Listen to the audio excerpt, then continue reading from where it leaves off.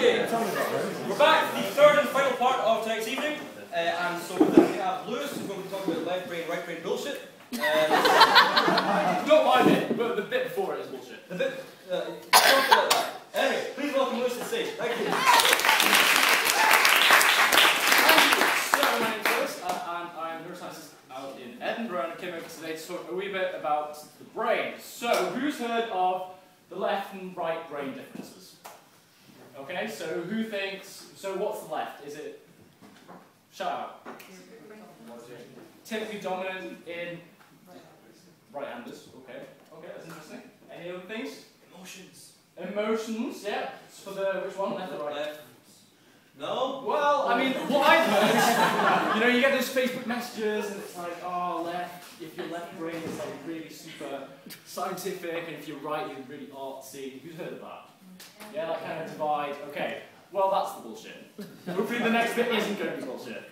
So, um, I'm one of these frauds. I'm not actually doing a PhD, I managed to, but I am doing research. Uh, I've not done that whole yet, but what I'm looking at is well, left-right differences. The, the awkward thing is, basically, you've heard all this pop psychology about the differences between the hemispheres, but in, the awkward thing is, there are actually differences between their hemispheres, but then it's not that. Okay? As you might expect, it's a, wee bit more nuanced, it's a little bit more exciting than that. So, first, I'm going to give you a quick, well, neuroanatomy lesson. Okay, so you have the brain. Um, I'm not really an artist, but we're going to give it a go.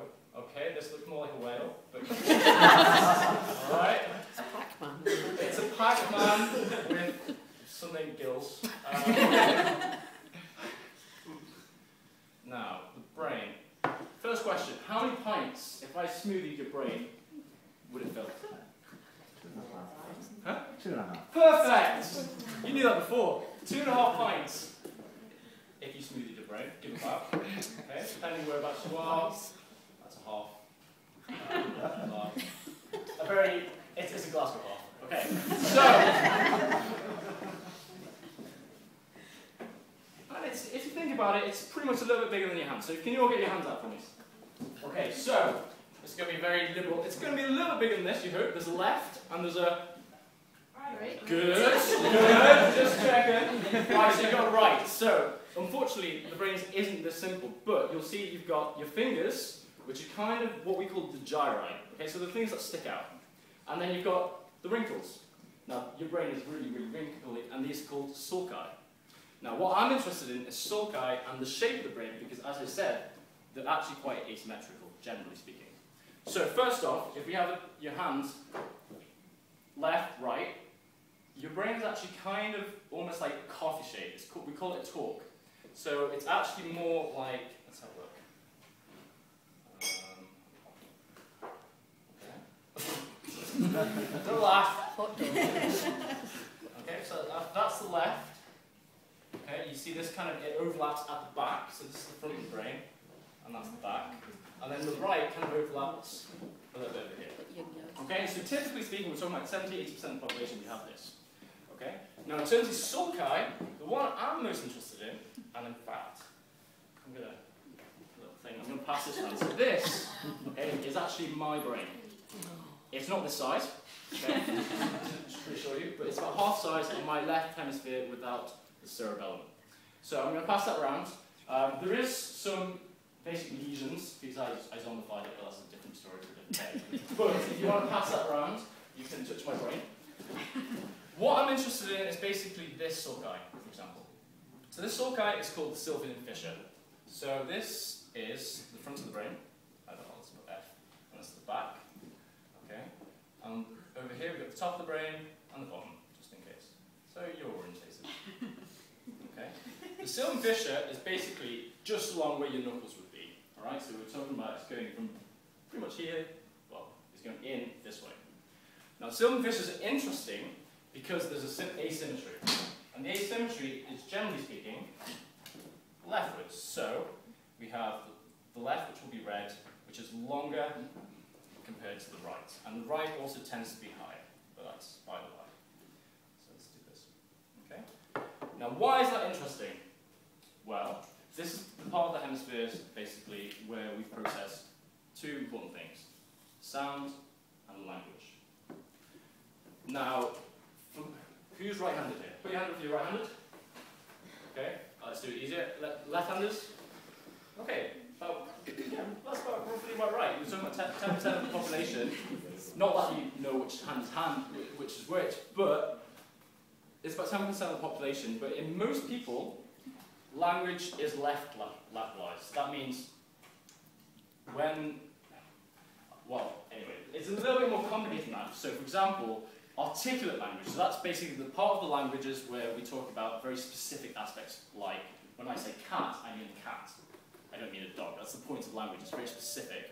And so things like grammar are represented in most people, about 90% of right-handers, 95% of right-handers, and in left-handers maybe 70, 80% uh, is on the left. Now what's interesting is that it's not only in the left though. Because you always have language faculties on the right, but what's interesting is on, in the right, it's much more about context. So if you have a stroke, you have brain damage to the right side of the brain, okay, so this, talking about over here, this is the Sylvian fissure, you might understand what the words are saying, but you don't necessarily understand the context. So if you said it's raining cats and dogs out here in Glasgow, you'd be looking for cats and dogs, and you'd probably find some. But they won't understand, for example, the tone of your voice. If you say, "How are you doing?" It's like, "Oh, I'm fine." Versus, "I'm fine." They might understand these specific words, but they won't understand the context. They won't understand humour. So right, there's a general kind of organization difference in the sense that the right can be much more contextualized and the left is much more specific. So if you have a stroke in the left, they won't understand the words, but they might understand your tone. Does that make sense? Good. So, why is this overall really interesting? Well, as I said, we have this leftward asymmetry in terms of function, in terms of actually speaking language, okay, the very precise aspects of that at least. And we also have this structural correlates. So basically, we have this example where the left side of the brain in that region is actually longer in terms of this wrinkle. So whether or not they're connected is actually a very, very complicated question, but it's, what's nice about it is it's actually a very, very good landmark. So what I'm doing is basically measuring these landmarks using MRI scans. So we get someone into a big donut, essentially, apply massive magnetic fields to them, and then we get data. We can look at this data, reconstruct the sulci, and I'm able to do it in 3D compared to back in the past where people used to basically get a brain and prod it. Literally, I'm putting in bin bags. I kind of hope for the best. I think that was bigger. So we can do it in 3D now using actual data, which is great. And I'm doing it in three different populations, and that's what I'm just going to spend a little bit of time talking about next. So, the first population we're looking at are chimpanzees. So we also have chimpanzee brain scans. Now, why might do you think we might be looking at chimpanzees and looking at this region? They're similar to human brains. Yeah, exactly. So chimpanzees are probably one of our closest relatives. We probably um, our common, last common ancestor was six million years ago, and their brains are remarkably like ours but simpler, which is great for studying them. They also have the Sylvian fissure. So what if, if let's say go with the hypothesis that Sylvian fissure is important and might be related to language, chimps don't unfortunately have the language, at least to the extent that we do. I mean, that can be a very arguable defect, but certainly not to our extent. So what if that asymmetry that we have in our brains isn't in chimps? Is, could it be related to how language has evolved, basically? So it's a structural, it might not even be one-to-one correlation, but we're talking about a structural possibility linked to our development of language. So that's what I do. So I'm looking at chimpanzees and basically also using MRI scans. And then we're basically looking at their brains. I can't draw a, chim- a chimpanzee. Basically, it's a smaller, it's a smaller one of these. it's a third of the size of this. It's very schematic. You get the idea. Pac-Man. Yeah. Okay? So, we have chimpanzees. That's one population. And why is that interesting? Well, so as I said, it's the evolution of language. So I- I'm also going to write the Sylvian fissure, because that's obviously Another population we're looking at, so within humans, is we're also looking at psychiatric cohorts. So in specific, oh, I mean, okay, another Pac-Man, maybe a little bit less. Okay.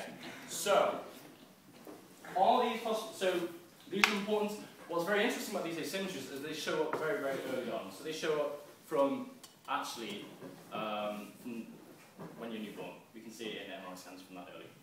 And so now our understanding of psychiatric diseases are the complex relationships between, uh, genetics and environment, and they have massive developmental aspects to them. And so whether or not we can also find these asymmetries in psychiatric cohorts might be suggestive of developmental problems within brain development very, very early on. It could be a risk factor. There's been quite a lot of literature looking at this as a possibility. Now, it's not very complex, which is actually great.